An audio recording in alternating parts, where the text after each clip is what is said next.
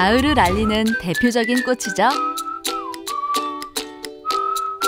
고운 색을 입고 쌀쌀한 바람에 한들한들 흔들리는 코스모스가 반기는 곳. 바로 연수구 승기천입니다.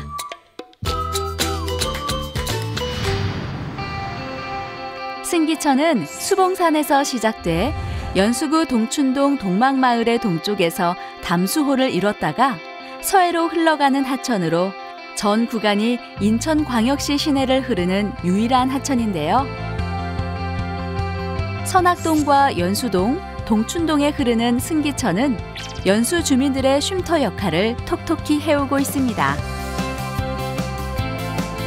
평소라면 휴식을 취하는 느긋한 분위기지만 오늘은 활기찬 기운이 가득합니다. 바로 제3회 승기천 환경사랑 걷기 대회가 개최되기 때문인데요. 약 1,500여 명이 모였다고 합니다. 환경 사랑이라는 주제에 걸맞게 환경 생태 체험존이 한쪽에 마련됐는데요. 아름다운 자연을 담은 사진들이 가득 전시돼 있습니다. 연수 구민이라면 눈에 익은 곳들인데요. 바로 승기천과 송도 갯벌을 담아낸 사진입니다. 승기천 환경사랑 사진전 수상작들과 송도 갯벌 습지 보호 지역 사진들을 전시해 놨다고 합니다.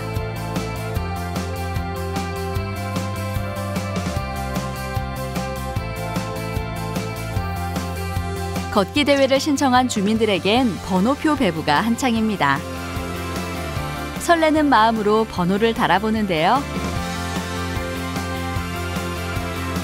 남녀노소 연령을 가리지 않고 가족들과 함께한 참가자들이 유독 많습니다.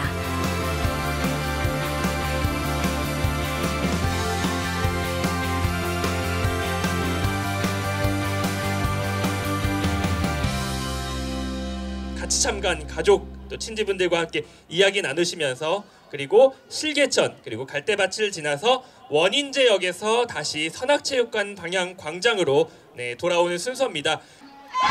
걷기에 앞서 대회 분위기를 끌어올리는 식전 공연이 시작됩니다. 신나는 음악에 맞춰 에어로빅 댄스를 선보입니다.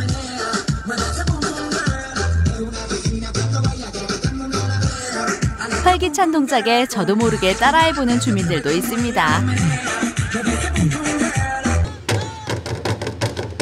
이어지는 난타 공연에 힘찬 장단이 광장을 울립니다. 걷기 대회에 앞서 의욕 도둑이 딱 좋은 공연입니다. 광장 한쪽에는 송도갯벌 람사르 습지를 체험해 볼 수 있는 프로그램도 있습니다. 환경이 주제이니만큼 송도 갯벌에 대해 알아보고 바다 풍경을 꾸며 바다 환경에 대한 관심을 높이고자 마련되었는데요. 자신만의 바닷속 풍경과 갯벌 풍경을 수공예 장식품으로 꾸며봅니다. 이번엔 참가자들의 건강을 점검할 시간입니다. 약물 오남용을 막기 위해 약물 상식을 쉽게 전달하는 부스도 마련되어 있고요. 음주나 금연, 카페인 레벨 테스트 등 주제도 배움도 천차만별인 다양한 부스들이 환경의 소중함을 알았듯 건강의 소중함을 알 수 있도록 걷기 대회 취지와 함께하고 있었습니다. 또한 혈관 나이를 검사하여 식습관 개선 방안을 안내해주는 부스, 비만 예방을 위해 체성분을 분석하여 체지방과 근육량을 알아보고 데이터에 따라 운동과 영양을 상담해주는 부스도 마련되었습니다. 관절염이나 근육통에 시달리는 주민들을 위해 올바른 테이핑 방법을 알려주는 곳도 있습니다. 근육통과 관절통이 있을 땐 테이핑을 통해 고정해주는 것이 중요한데요. 이제 집에서도 손쉽게 대처할 수 있겠죠? 팔꿈치가 닿는다는 생각으로 걷기에 앞서 준비 운동은 필수입니다. 무사히 코스를 완주하고 대회를 마치려면 부상은 금물입니다. 넷, 다섯, 넷, 다섯, 건강한 걷기 스트레칭 시범에. 맞춰 참가자들은 쭉쭉 굳은 둘, 몸을 풀어봅니다. 하나, 둘, 셋. 준비 다 되셨어요? 대회가 선언되고 출발선에 3, 4, 5 모이는 참가자들. 시작! 5, 출발선에 모인 참가자들이 힘차게 카운트다운을 합니다. 출발! 네, 안전하고 행복한 걷기 대회 되시기 바라겠습니다. 이번 걷기 대회는 선악체육관에서 출발해 원인제를 돌아 다시 선악체육관으로 돌아오는 코스로 약 5km 정도라고 하는데요.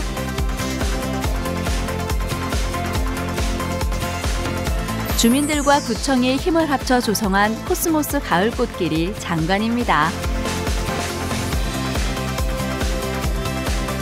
오염 문제가 심각했던 승기천이 쉼터로 거듭난 건 구와 주민들의 지속적인 노력 덕이라고 합니다.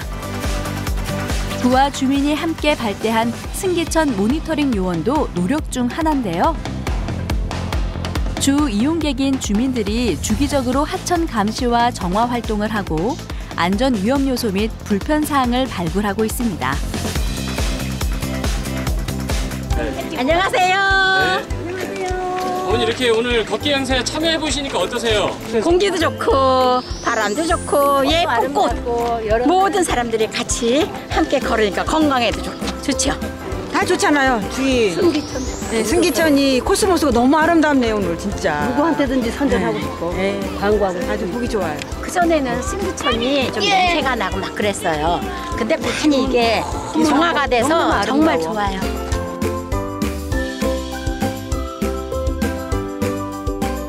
걸어 보시니까 소감이 어떠세요? 어, 코스모스 길이 너무 예뻐요. 인천에 이런 곳이 있는지 몰랐어요. 오. 너무 예뻐요. 승기천이 이렇게 아름다운 곳인지 몰랐어요. 네. 우리 아이들이 벌써 앞에 가고 있는데요. 어, 애들하고 같이 오니까 너무 뿌듯합니다. 거의 다 왔나 보다. 어머님 아이들하고 같이 참여하셨어요. 네네. 와 아이들이 지금 걸으면서 꽃 보니까 정말 도움 많이 됩니다. 예, 여기 코스모스도 길도 너무 좋고, 어, 몰랐네요.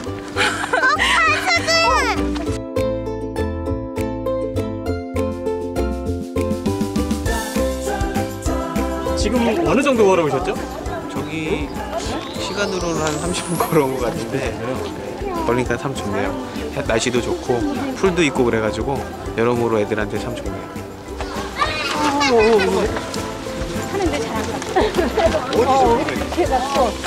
아드님이세요? 네, 아들이요. 같이 걸어 보시니까 어떠세요 소감이?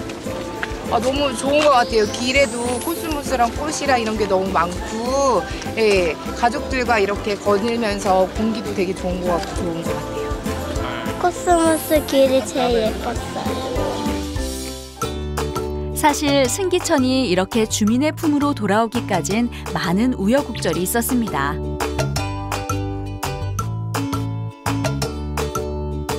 (2016년까지만) 해도 수질 5등급 이하의 죽어가는 하천이었던 승기천 연수구는 승기천 살리기 원년을 선포하여 생태 살리기에 전력을 다했는데요. 덕분에 2017년엔 3등급까지 수질이 개선됐습니다.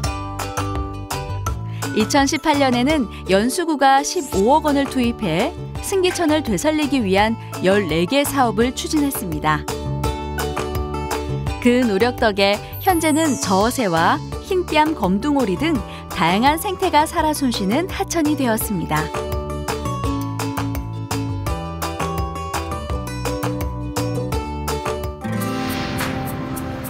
도시와 자연이 함께하고 사람과 자연이 어우러지는 곳 연수구 승기천